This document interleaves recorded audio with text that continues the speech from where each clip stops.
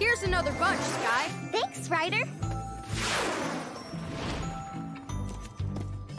Here you go, Marshall. Thanks. Are you all ready for the big day, Chickaletta? Sorry, Marshall. I wasn't paying attention. I just can't concentrate on anything with the election today. What is an election anyway? It's when all the people get to decide on things, like who will be mayor. Everybody votes on it. Whoever gets the most votes wins the election and becomes mayor. That's cool.